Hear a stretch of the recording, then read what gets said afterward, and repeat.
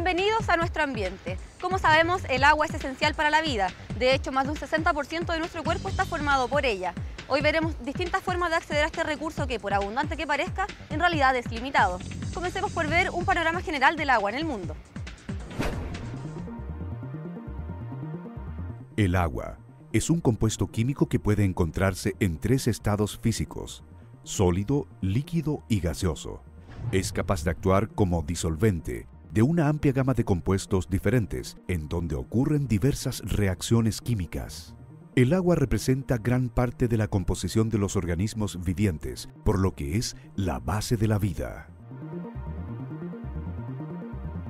Dada la importancia de este elemento, su distribución geográfica determina el establecimiento de comunidades biológicas, plantas, animales, seres humanos, los que dependen de su existencia. Más del 97% de las reservas de agua se encuentran en el mar, mientras el resto se distribuye en glaciares, en forma sólida, ríos, lagos, aguas subterráneas como líquido y en el aire en estado gaseoso. A pesar de su gran abundancia, solo una pequeña fracción es dulce, la cual no siempre se encuentra disponible para su uso, por lo que el acceso al agua significa en numerosos lugares todo un desafío. La Organización Mundial de la Salud recomienda la disposición por persona de unos 500 metros cúbicos de agua al año, de forma de llevar una vida sana e higiénica.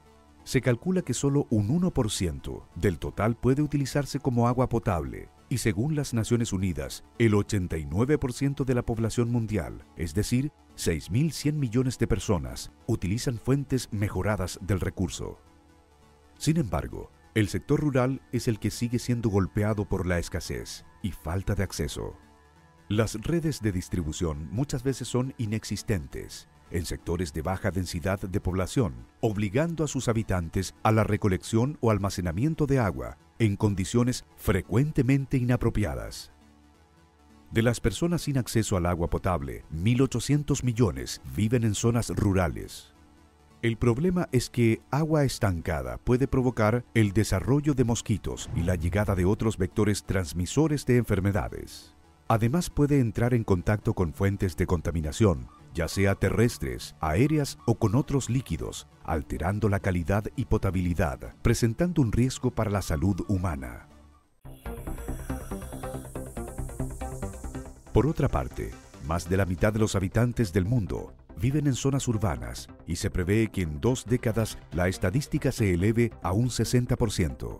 Según cifras de la Organización Mundial de la Salud, el 79% de la población urbana mundial utiliza servicios de saneamiento mejorado de agua.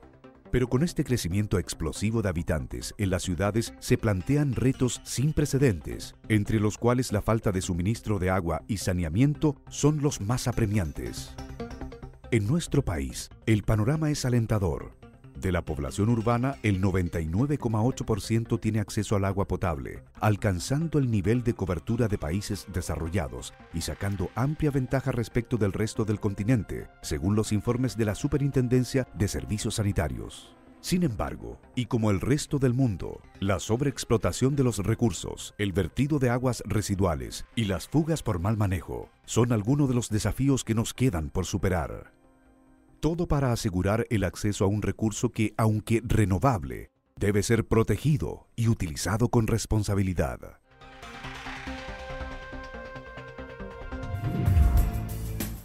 El mal uso del agua ha hecho que este recurso escasee en varios puntos del planeta. Por eso, contar con un trato y un tratamiento adecuados es esencial para evitar puntos críticos en su acceso. La clave para proteger el equilibrio de nuestro delicado planeta es considerar tecnologías amigables y ser cuidadosos en el uso de nuestros recursos. El agua, recurso escaso, debe ser cuidada y adicionalmente se deben buscar nuevas alternativas de captación de este líquido para la dotación existente y futura. La desalinización o desalación surge como una opción viable especialmente para zonas costeras. El avance de la tecnología y las condiciones de precios que tienen en los mercados internacionales los productos para este fin permiten pensar que la desalación es además una alternativa rentable para los proyectos de sistemas de abastecimiento. En Chile se está analizando el modelo de negocio y aspectos legales a fin de combinar usos, riego y agua potable. Y hay regiones como la de Arica y Parinacota que proyectan cubrir el 100% del suministro al 2014. El desarrollo de sistemas de agua potable rural y la mejora continua que se hace también de los sistemas existentes, eh, donde se está aplicando desde hace ya bastantes años eh, soluciones con desalación y lo que estamos haciendo es buscar nuevas tecnologías cada vez más eficientes eh, más económicas, de tal manera que sean soluciones viables y, mantenibles en el largo plazo para las pequeñas comunidades que son las que se benefician de estos sistemas APR.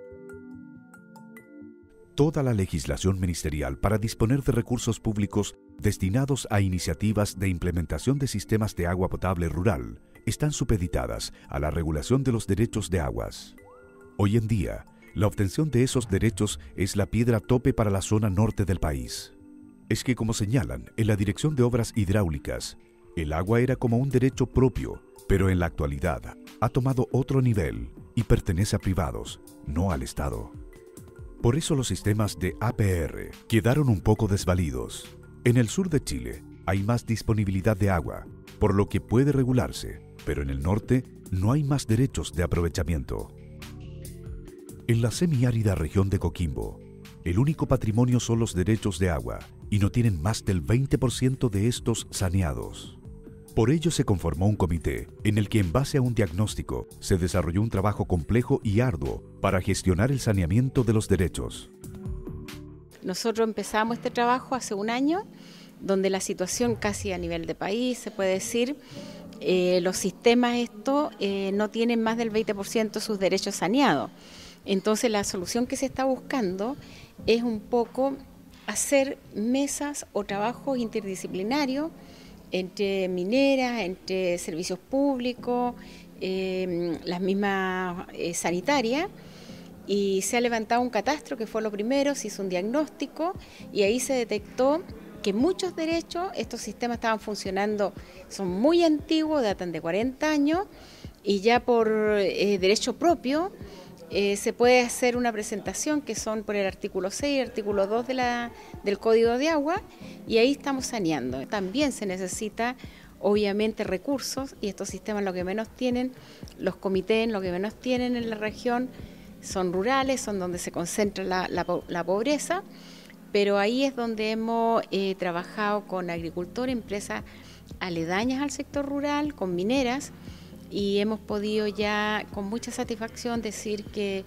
tenemos más de un 60% de derechos constituidos para estos comités.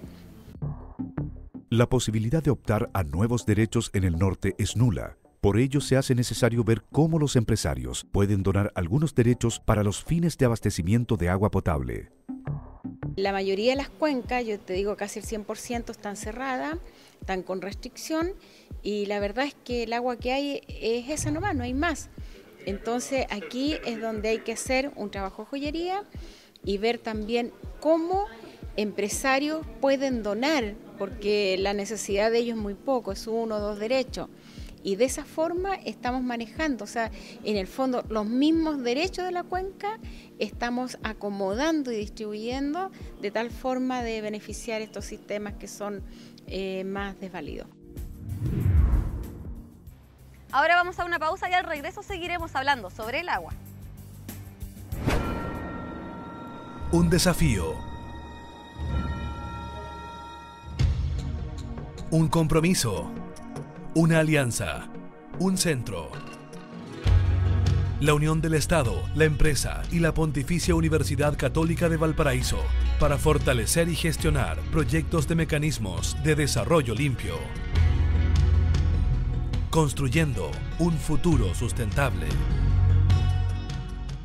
Apoyo, innovación, tecnología, excelencia. La mayor red europea de investigación aplicada llega a Chile para formar alianza con la Pontificia Universidad Católica de Valparaíso, la Universidad de Talca y la Fundación Chile, y con el apoyo de Innova Chile, dan vida a su primer centro de biotecnología en Latinoamérica. Investigación enfocada en el mundo empresarial. Desarrollo para nuestro país. Fraunhofer, Chile. Escuela de Ingeniería Bioquímica. Más de 40 años de experiencia en el área de los bioprocesos, primera de esta índole a nivel nacional. Contamos con dos carreras de pregrado y programas de posgrado para formar profesionales de excelencia. Nuestra unidad de asistencia técnica nos destaca en el mercado nacional, otorgando asesorías y servicios a las empresas del más alto nivel. Investigación e innovación, pilares fundamentales de nuestra enseñanza y desarrollo. Si bien cerca de un 90% de la población mundial tiene acceso al agua potable, el sector rural sigue siendo el desafío pendiente. Una de las instancias más relevantes para América Latina y el Caribe, donde se debaten los avances en tratamiento y consumo responsable del agua y se contribuye al desarrollo de los países, es la Asociación Interamericana de Ingeniería Sanitaria y Ambiental, AIDIS. Los principales objetivos de la organización son crear conciencia sobre los problemas ambientales de salud y de saneamiento básico, proponiendo alternativas y soluciones, mantener un estrecho contacto con los gobiernos con el fin de buscar la ejecución de planes concretos de acción al respecto. Además, AIDIS busca generar una cartera de eventos en temáticas y áreas inherentes a la asociación, actualizando profesionalmente a su red de colaboradores. Adicionalmente, la asociación establece alianzas estratégicas con universidades e institutos de educación, así como lazos estrechos con instituciones de apoyo que permitan obtener recursos para consolidar acciones de los capítulos nacionales. En esta tarea, AIDIS plantea que el requerimiento de agua para consumo humano en América Latina y el Caribe se hace cada vez más apremiante y hay que tener presente que el agua más costosa es la que no se tiene y la segunda más costosa es la que se debe transportar hasta la vivienda. Aquí no podemos sentirnos que porque hemos llegado a coberturas por encima del 90, 95% en muchas ciudades, el trabajo está hecho, porque todos los días tendremos alguien que no permite que se tenga un cubrimiento del 100% y ese alguien siempre hay que buscar cómo eh, atenderlos. De acuerdo a los expertos internacionales, se hace necesario incorporar o mejorar los indicadores de desarrollo relacionados con el acceso al agua potable, en el sentido de que estos no solo apunten a dotar de cantidad, sino también de calidad y continuidad. La Organización Mundial de la Salud, junto con UNICEF, considera como agua potable mejorada al agua por cañería conectada al hogar, en terreno o patio, a las piletas públicas, pozos y fuentes protegidas a una distancia máxima de un kilómetro de la vivienda y a la recolección de agua de lluvia. Ante esto, algunos expertos proponen cambios para los objetivos de desarrollo del milenio de las Naciones Unidas en términos de incluir calidad de agua y entrega intradomiciliaria, de manera de asegurar salud y desarrollo para la población, especialmente para esas millones de personas que habitan los sectores más alejados de las ciudades urbanas. Se espera que esta propuesta sea considerada para los objetivos del milenio 2015-2040. Chile es el único país donde el agua potable rural se puede consumir directamente desde la llave. Otros países cuentan con la red rural, pero la calidad de agua no es segura, dado que hasta la fecha solo se ha priorizado la visión cuantitativa. La normatividad chilena ha sido eh, tomada como referente en muchos países para poder estructurar toda la legislación sobre agua, saneamiento y ambiente. Y realmente las cifras de coberturas y prestación de los servicios que tiene Chile son mucho más altas de lo que se encuentra en los demás países de América Latina.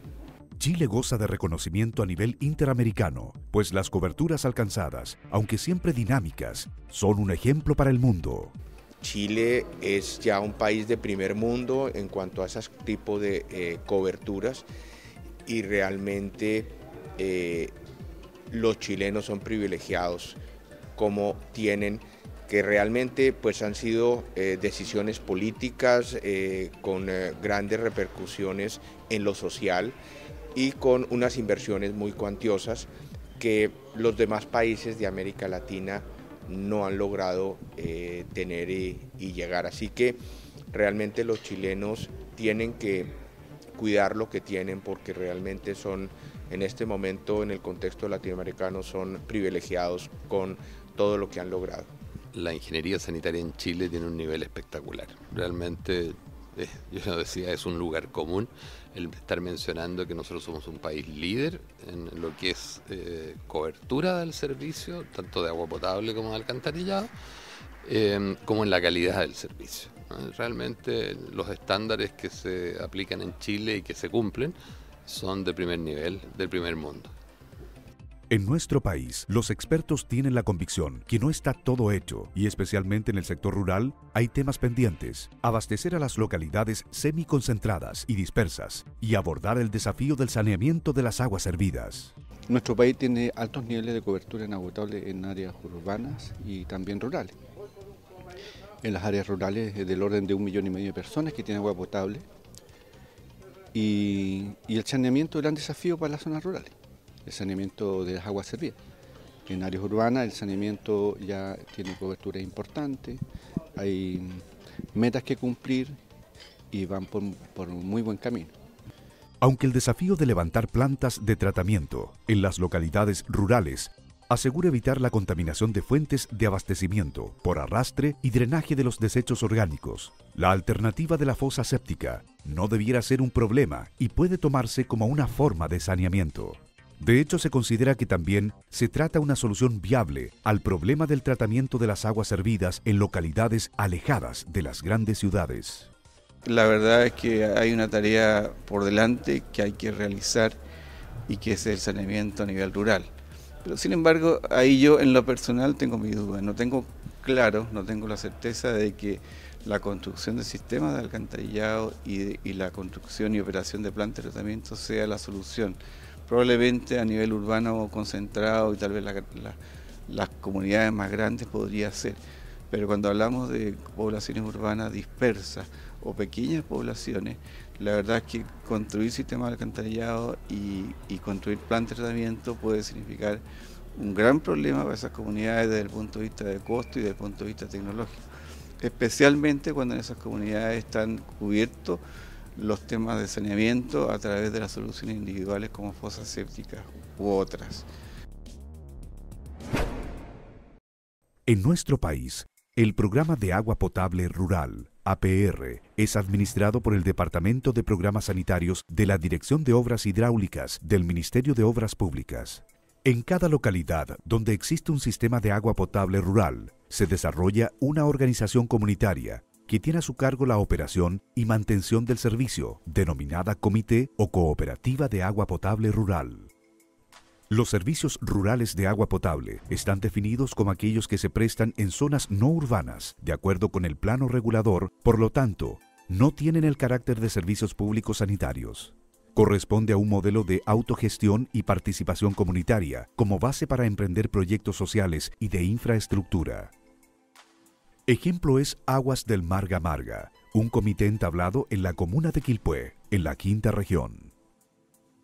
Su experiencia ha demostrado que con dos horas diarias que los directores aporten a la gestión de la organización, se hace posible un suministro continuo y de la mejor calidad.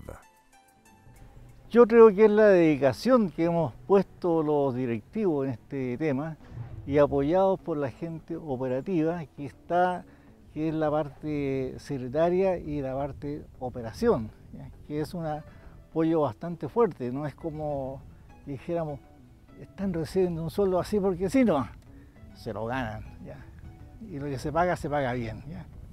Ahora, lo otro, el otro éxito que tenemos es la parte manejo del dinero. En los nueve años que llevan como comité organizado, han logrado fidelidad de parte de los usuarios, quienes ven con buenos ojos el manejo de los recursos que se administran. Los recursos que se reinvierten se reinvierten en los mismos socios, ¿ya? como ser. Nosotros no cobramos por las reparaciones que se hacen especiales a la gente. Que hay un medidor que falló, se cambió el medidor que falló. Pero no se le cobra por ese medidor, salvo que el medidor haya sido intervenido. Es tal la organización en aguas de Marga Marga que cuentan con equipos para afrontar exitosamente situaciones de contingencia. Tenemos generador, tenemos bomba de benzina, tenemos todos estos equipos que ayudan en un momento dado. Incluso esa bomba a benzina está pensada que en algún momento, frente a un terremoto, tengamos que sacar agua con bomba para darle, con una bomba para darle a la gente. Ese es el objetivo, digamos. La calidad del agua ofrecida por la APR Aguas de Marga Marga tiene altos niveles de saneamiento debido al apego en el cumplimiento de las normas actuales. ¿En qué me baso para decir eso? En los análisis de agua que se hacen mensualmente, más el análisis físico-químico que se hace una vez al año. Y el cloro libre se hace todos los días, en la mañana y en la tarde. Los usuarios se muestran conformes con el agua en cuanto a cantidad y calidad. Solo en verano se presentan algunos problemas, dado que hay un camping y lugares de esparcimiento que generan aumento de la población flotante, aunque el suministro continuo se mantiene. El trabajo de operador de APR, pese a que en la generalidad de los comités no es altamente remunerado, requiere de conocimientos técnicos que permitan tomar medidas a tiempo real en las diferentes etapas de la distribución. Consiste en llevar registro de todos los datos diarios de la planta, viene siendo orómetro, medio de caudal, para saber cuánta hora y cuántos metros cúbicos anduvo durante el día la bomba. Los operadores deben preparar el cloro para desinfectar el agua, hacer la limpieza del equipo clorador, inyector y otros elementos del sistema. También controlan en la red de distribución la concentración de desinfectante, que asegure el consumo de agua sin riesgo de contraer enfermedades de origen hídrico. La optimización del recurso es una preocupación continua en la APR, Aguas de Marga Marga. En este comité, los desperfectos técnicos son parte del pasado. Antiguamente teníamos problemas del asunto que del tanque, porque se nos vaciaba, perdíamos agua, por asunto de la carga de la batería. Pero en estos momentos no, porque tenemos un panel solar y ese panel solar abastece la batería, no tenemos problemas de botado de agua. A diferencia de muchos comités de agua potable rural en el país, Aguas de Marga Marga no tiene problemas operativos o administrativos y menos financiero. Por ello se han convertido en referente para aquellas localidades que están postulando recursos del Estado para implementación, mejoramiento o normalización del servicio. No hay que olvidar que esta exitosa experiencia demuestra que todo se logra sobre la base de un trabajo de años desarrollado por gente comprometida con la dirigencia de un comité de APR. Vamos a una pausa y al regreso seguiremos viendo distintas formas de acceder a nuestro recurso hídrico.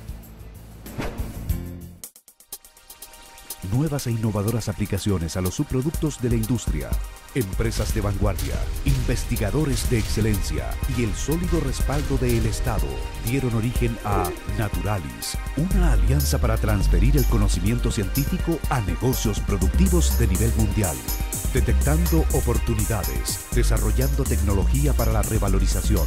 Consorcio Naturalis, un puente para la aplicación práctica del conocimiento científico. Núcleo Biotecnología Curauma desde Curauma para Chile y la región.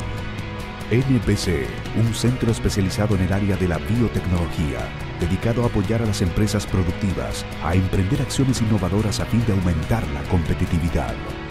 Núcleo Biotecnología Curauma. Innovación y biotecnología al servicio del país. Red Biogas Chile. Oportunidades de negocio. Información técnica privilegiada. Plataforma de contactos. Alianzas estratégicas. Red Biogás Chile. Energía limpia para todos. Con el 33% de los recursos hídricos renovables del mundo, Latinoamérica es el continente con mayor disponibilidad de agua. Junto con ello, el continente sigue buscando formas para dar mejor acceso y tratamiento a sus recursos se calcula que solo el 5% de las viviendas en Latinoamérica y el Caribe está conectado a sistemas de tratamiento de aguas residuales y solamente se emplea disposición primaria para eliminar los residuos sólidos. Las aguas utilizadas vuelven contaminadas al mar y en grandes cantidades.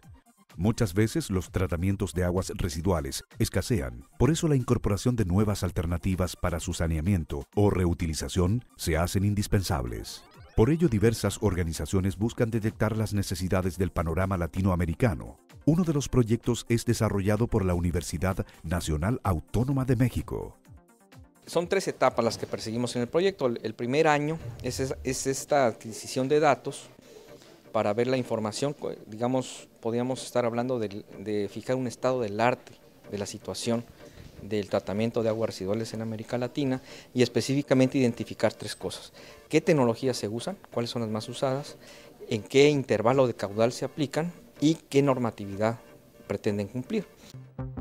El proyecto Reducción de GEI en el tratamiento de aguas residuales ha permitido realizar un diagnóstico a la situación del agua en Latinoamérica e identificar las tecnologías más usadas para el tratamiento de las aguas residuales.